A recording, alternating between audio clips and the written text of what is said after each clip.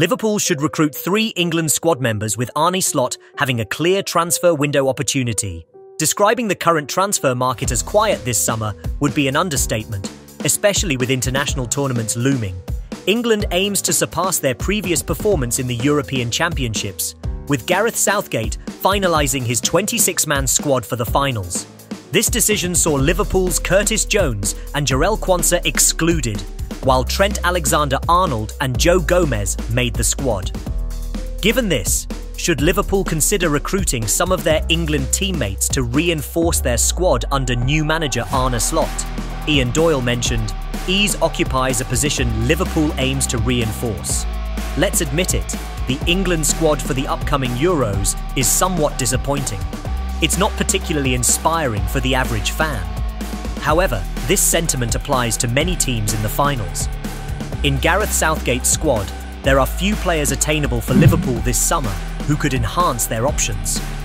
One potential option is Eberechi Eze from Crystal Palace, although signing him would diverge from Fenway Sports Group's typical approach. Despite his four years of Premier League experience, he hasn't competed in European club competitions and has limited international caps, is this sufficient for Liverpool to consider him? Joe Rimmer. Gordon's potential is evident, and Liverpool could capitalise. Adam Wharton is a promising talent in a position Liverpool needs.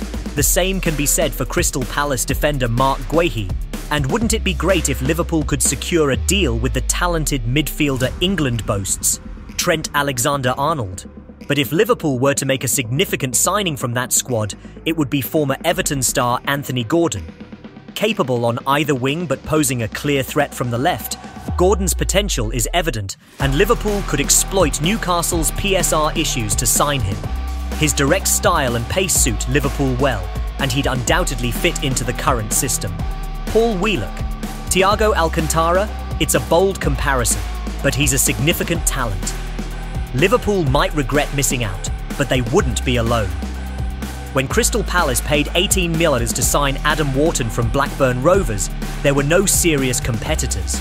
But given his impressive performances since then, if Palace decide to sell the 20 year old midfielder this summer, clubs would be vying for him, but they'd have to pay a premium. Don't just take my word for it. Listen to what Declan Rice said about his England teammate after Wharton's inclusion in Gareth Southgate's Euro 2024 squad. He has been outstanding, and I think in training he has impressed a lot of players, Rice said. He is composed and calm on the ball, has a beautiful left foot, and is just a down to earth boy who wants to learn. He's only 20, but going to his first European Championships is a big moment for him and his family.